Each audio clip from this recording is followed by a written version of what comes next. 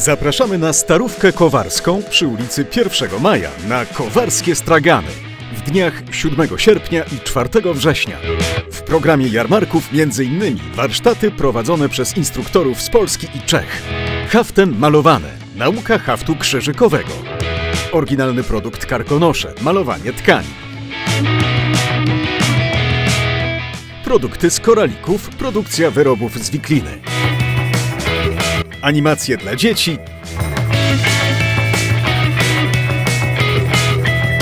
Koncerty wykonawców z Polski i Czech. Stoiska z lokalnymi wyrobami.